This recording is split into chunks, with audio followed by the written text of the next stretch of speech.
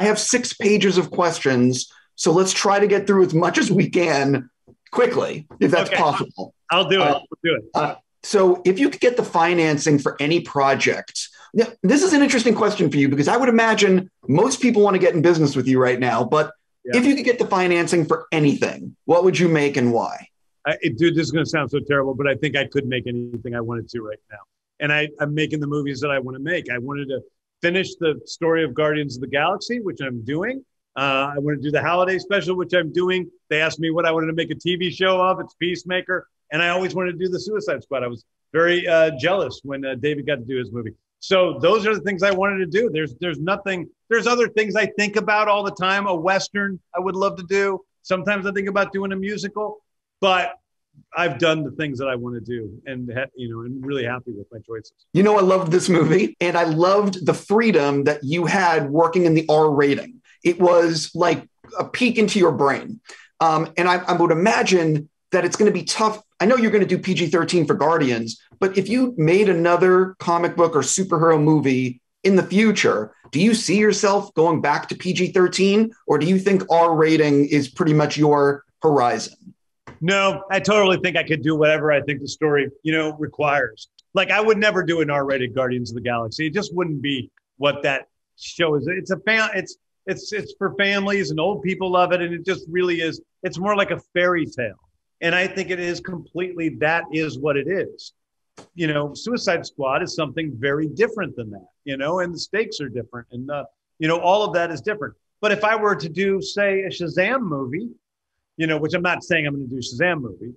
Um, I don't think that should be, you know, R-rated either. I think that would be if I did that, it would be PG-13. If I did Deadpool, it would be rated R. So I mean, it just kind of depends on the project. I think everything is different, and the audience you're speaking to is different. And I love PG-13 movies, and I love R-rated movies. I don't have any problem with either of them. Got it. So essentially, if you ever got the keys to like a Superman, it would be PG 13. Yeah, probably. Yes.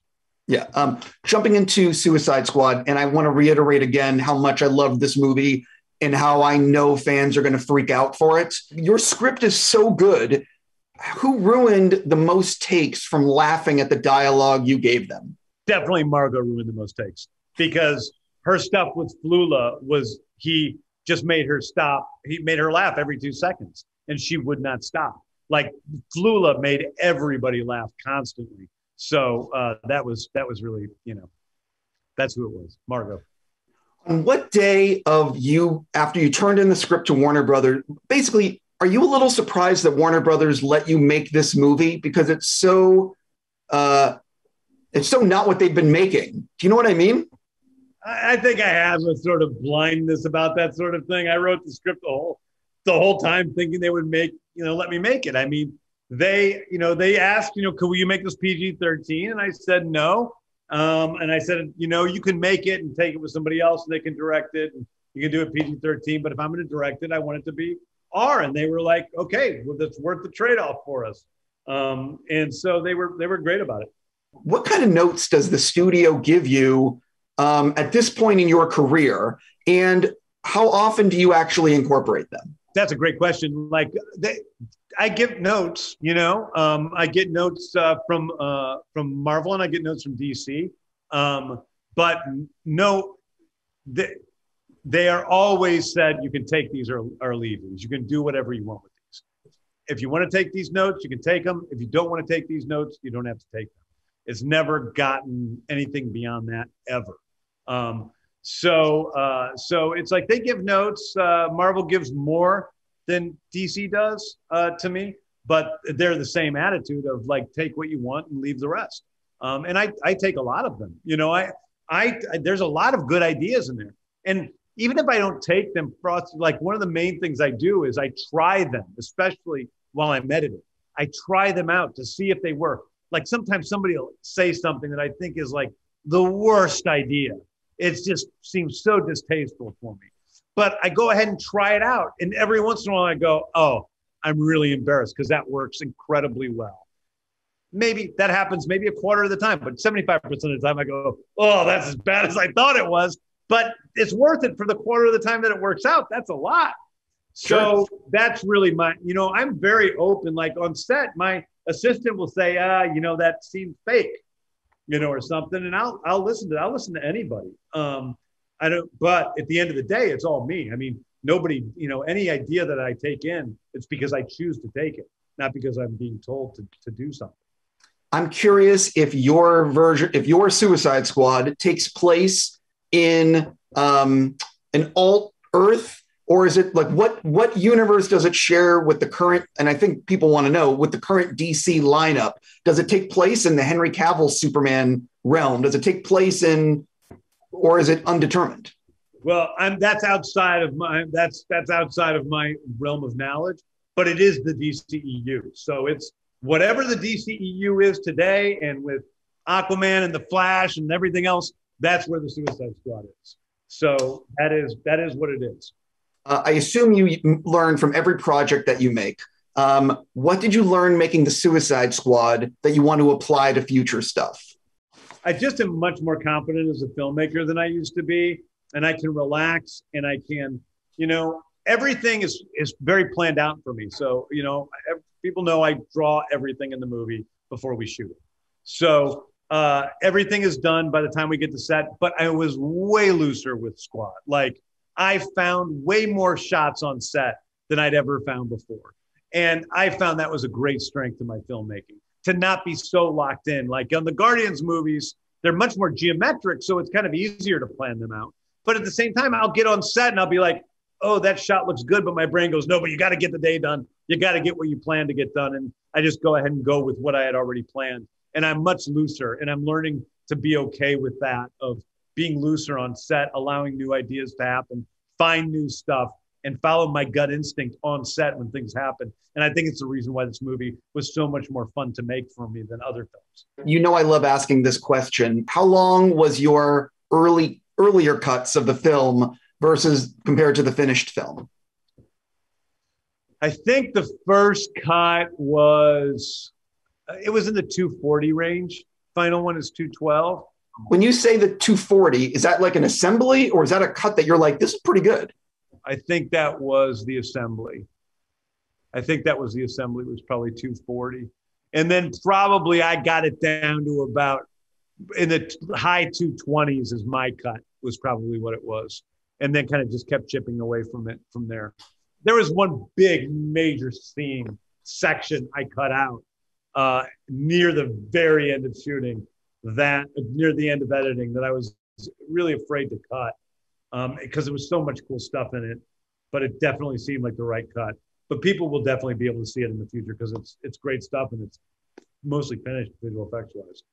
Well, that's I wanted to know what was the last thing you cut before picture locking that's what it was. There's a whole section with uh, with Ratcatcher and King Shark and Polka Dot Man and Thinker that I that I cut. That was pretty dynamite stuff. And the hardest thing was some of Peter Capaldi and David Dastmalchian's best acting together. But it just was the wrong. We take our time a lot in the movie, and I'm proud of that. Um, but it was taking our time at the wrong point in the film. So it was a good cut. It hurts, but that's how that's how movie making is. I'm assuming this is when they've exited the bar and are together. It's right after they're outside of the bar. Yeah, right. When the so guys, you, when the guys, when when when Rick Flag and them are in the uh, the, the the armored vehicle. Completely. Um, do you see yourself? What for? Fan, what can fans look forward to on the eventual Blu-ray? I think some really great, uh, you know, scenes that we cut out from the movie. You know, um, there's a really great uh, uh, scene with that's to Jesse Reyes' Sola, which is in the movie. It's now seen in a moment. You see this moment where King Shark is looking out the window and he sees the young couple kissing, and you realize in that moment, hopefully, just how he's not a part of this world and how he longs to be a part of this world. And that actually was a much longer sort of montage um, that is really beautiful and I really like in and of itself. You know, it just was again, it was at the wrong place in the movie. Did the MPAA ask you to make any edits? No, they didn't. I think think we got by at an R rating on the first pass through. You know, there was one thing that I cut out uh, earlier uh, with one of the characters' deaths that was really gory, and I and I was like, you know what? it's just a little too much. But again, we might see it someday in some form. One of the things is that you have this ability to write characters that are sometimes terrible people and make the audience root for them. What is that secret that you, the secret sauce that you're able to make people care about these characters? Well, because I don't believe these people are terrible at their core. You know, I think someone like Bloodsport or Harley, you know, I think they have goodness to them. I think in a lot of ways, this movie is a story of Bloodsport coming to terms with his own vulnerability and his own goodness, which he has denied his entire life. So I think it's really I, I love I, I love a bad character who finds redemption. Like that's the thing I dig more than anything else in stories.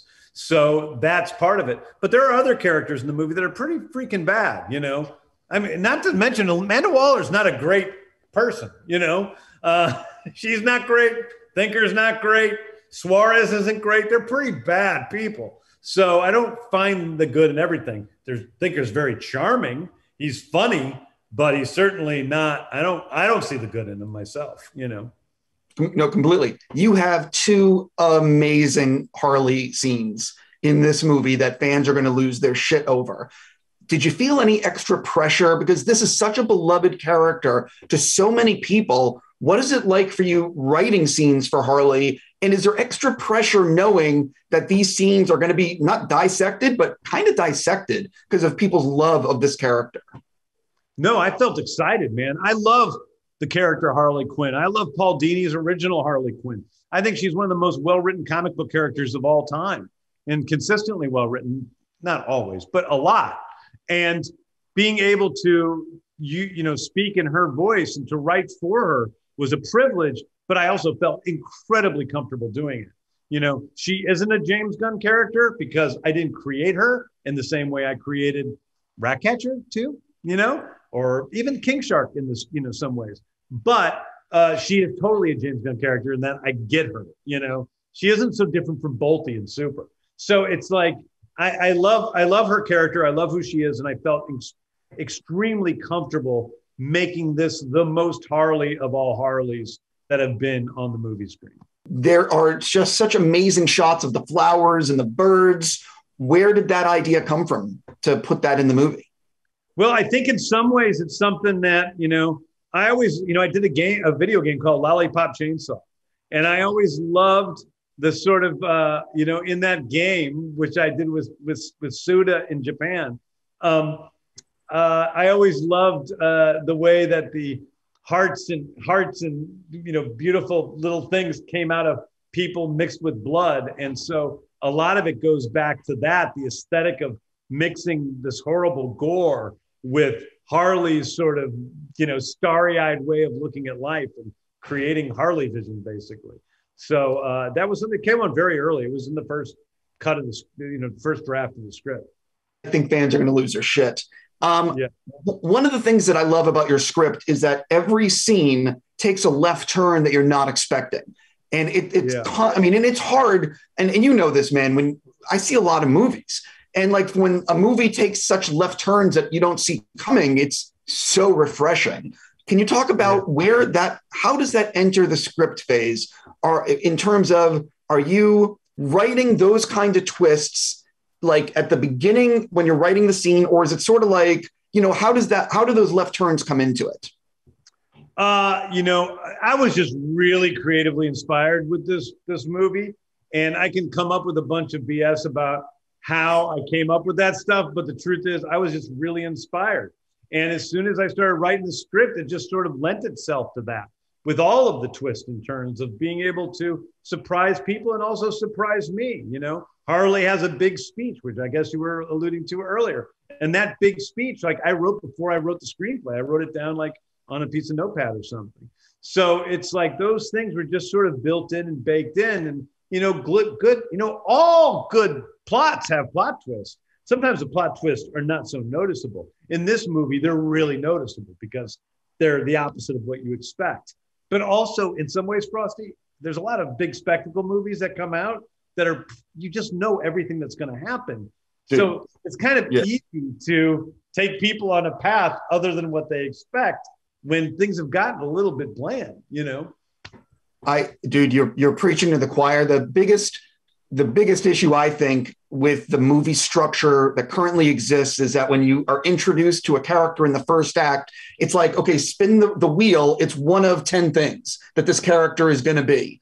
And yeah. it's just a question of what of is it what of the 10 is it going to be? Which is why, again, uh, and you know I don't say this all the time, why I loved your script because it kept fucking hitting me over the head in unexpected ways. But moving on, because I'm running out of time. Uh, I, I think the VFX on King Shark are just jaw dropping. And th- there's a shot in the movie where he's, and you, you said it earlier, where he's looking outside the van. He sees the couple. You see this reflection on the windshield, and you see him behind the windshield, the, the, the window, and you can, it, he looks real. And I sort of, uh, can you sort of talk about getting King Shark right on the screen? Because if those VFX don't work, that character is dead. It was really hard, man. It was really hard. So, you know, you know, I've done furry characters who used to be pretty hard, but are much easier now. And I've done wooden characters, which are pretty easy. Um, but uh, to be able to do the shark skin was really tough. I mean, we went through a lot of versions of trying to get shark skin to look real, and it was hard. And then finally, we get the shark skin looking as good as we can. And we built King Shark, and I always knew he was like this dad bod. We designed him. But then he came out and there was just something about his belly. It was too light, white. It didn't look real. He had too much of pecs and that looked too, you know, mammalian, you know? And so it really, so I actually broke him down and said, we have to break him apart and put him back together again because he's not working. And luckily, Framestore, who developed King Shark, and then Weta also did a lot of shots with King Shark, they both worked together to create this character that looked as, as real as he does now. But it took a lot of work and it took a lot of moving forward and backtracking one step forward two steps back over the design. I, am a huge fan of guy norris and you had him as your second unit director on this. Um, i wanted to know if you could sort of talk about the dynamic of you and guy what you asked him to do and how much does it hurt you to let other people photograph your movies um, in this case it was easy because what he photographed was the uh, the the truck the car stuff outside of the cars with the cars flipping around and everything. And we paint I first I storyboarded it. So starts with my storyboards. Then Guy takes it into his post viz world and we turn it into post viz and then we decided exactly what it is. And with car stuff you can very geometrically figure it out. Guy and i are buddies and i've known him since scoo he did scooby-doo in 2000 so we've been we, we've known each other a long time. I love his work. I trust him way more than I trust other stunt coordinators. And um, and so it, it was pretty flawless working together. It's t- it's hard at times. There's a little bit stuff different, but you know, shooting cars really isn't my thing. Like I've never, honestly, I've never really done it. Shooting people is different. Like shooting action people with action. Like I don't, you know, that that's my thing. Like I love doing that. So I love taking Guy's action sequences that we develop together, which he really develops and does great work with. But then me being able to shoot it in the way that's the most impactful, like that's my thing. But shooting cars and stuff, it's just it's just not my thing. Uh, I think a lot of people don't realize the importance of like obviously all the light is on you and you deserve it but i do think that there's so many people that work on movies behind the scenes that don't get enough credit there's no and, doubt there's no so doubt and um, that, on Guardians 2, I didn't use the second unit director, you know, because I had such a terrible experience on Guardians 1 and just had to reshoot most everything that the second unit directors did. So on this one, I, we do like what Guy shot was very minimal, you know, was that, that scene. Um, but, uh, but it's, he's really important. But that's true about, I mean, Beth Mickle, our production designer, and Judianna Makovsky, our, uh, our costume designer, those are, my, they're my like those are fully my creative partners. Henry Braham, the cinematographer, I've got those three people with me on set all the time. Unlike other like production designers and costume designers, they're with me a lot. And their input is more important than anybody's input to me because they aesthetically understand the film and they always have things to say about you know stuff and i also don't i, I make it so that there's no clear divisions between production design and props and costume design and cinematography. It's all one thing. And so we're we are really a team. And one of the great things about Suicide Squad was having this team of individuals together of me taking the best people that I'd worked with on Guardians 2, Guardians 1, on Guardians 3, which had shut down, and from, you know, even Super and, and before that, you know, my, I've been with my editor now, Fred Raskin, for a long time. So these people are all my partners. And you're absolutely right. They, uh, those people, you know, it, all the glory goes to the director, all the glory goes to the actors. But the production designer, the cinematographer, the costume designer, they created this movie as much as anybody. And it is a team effort, absolutely. Yeah, it brings me to I wanted to say uh, I always like giving a, like a shout out to an unsung hero. So besides the people you just mentioned, it, who's another person that you sort of just want to give a, a shout out to who just contributed a great deal to the movie? Well, I'm a big fan of my my stunt folks. So Ingrid, who was uh, uh, uh, Margot's, you know, stunt double. Um, you know, Adam, who was, you know, David Dastmalchian. Adam Hart was David Dastmalchian's stunt double. Spencer, who was Peacemakers. Nate, who was Idris's stunt double. Those guys are so great, and they do a lot. You know, um, Spencer, who's Peacemaker stunt double, has done the best stunts I've ever seen in my life on the Peacemaker TV show by far and he's beating the shit out of his body.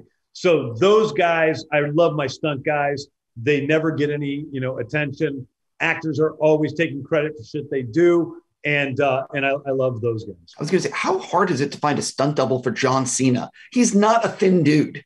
Yeah, he and, he and Dave, we have Dave Best so we have real problems with stunt doubling. But John's got his own guy, Spencer, and Spencer goes and he does every movie with John, and he's a total fucking filmmaker and a part of the process and he's my friend, and I, you know, he's a great guy. Something that I couldn't believe is that you built the jungle, you built the beach, all this stuff was built on a soundstage, and it does not look like it's on a soundstage. Normally, I notice that the beach wasn't on a soundstage; it was on a backlot, so it was outdoors. So the beach is way too big for any soundstage. It's like the size of four football fields. So it's enormous, and uh, I, I, probably one of the biggest sets ever made.